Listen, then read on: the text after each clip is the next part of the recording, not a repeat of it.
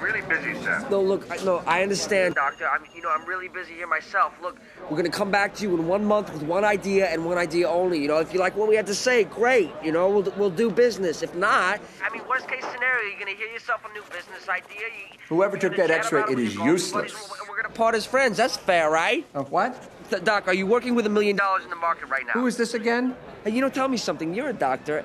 Have you ever heard of a drug called Benadryl? It's being manufactured by MSC Pharmaceuticals. No. Well, listen, listen, okay? Listen, it's in the third stage of FDA approval, all right? Word is it's going to be approved within the next three months. And it could be tomorrow for all I know.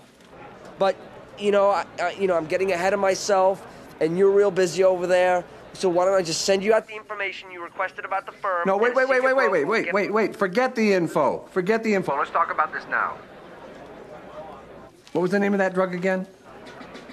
Could you hold on for one second? Uh, I'm gonna get uh, uh, a senior broker who's a little more familiar with that particular stock. All right, hold on a second, okay? One second.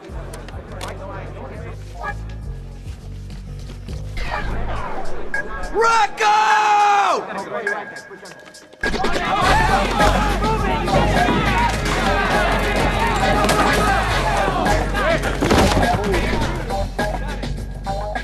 Hard. Okay, so his name's Dr. Jacobs, and I, I'd say from the sound of it, he's definitely. Well, I don't want to hear it, kid. Okay. Hi, Dr. Jacobs. This is Chris Marlin over at JT Marlin. Marlin. Right, he's my father.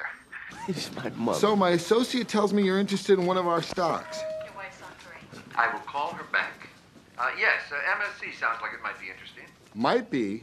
Might be doesn't sell stock at the rate MSC is going for, Dr. Jacobs. We're talking very high volume here. Well, I still have to run it by my people. That's great, Doc, if you want to miss yet another opportunity here and watch your colleagues get rich doing clinical trials. And don't buy a share and hang up the phone. Well, hold on a second now. I didn't say that. I just want to talk about it some more. Honestly, Doc, I don't have the time. This stock is blowing up right now. The whole firm's going nuts. Hold on, let me open up the door to my office.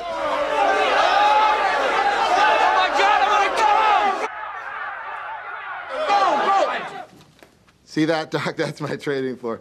Now I have a million calls to make to a million other doctors who are already in the know. I can't walk you through this right now. I'm sorry.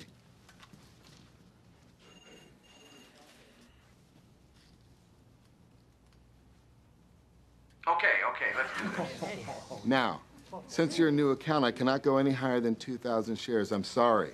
2,000? Are you nuts? That is way beyond what I was thinking. Thinking 2,000?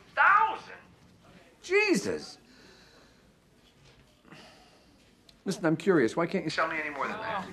Well, we like to establish a relationship with our clients on something small before we get to the more serious trades. Let me show you several percentage points on this small trade, and then we'll talk about doing future business. That sounds good.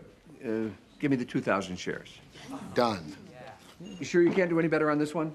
I'm sorry, Dr. Jacobs. I can't. I'm sorry. All right, we'll start with this trade then. Great. I promise we'll swing for the fences on the next one. Do you want that confirmation sent to your office or your mansion? Ah, very funny, Mr. Marlin. Let me put my secretary on, and she'll take down your info.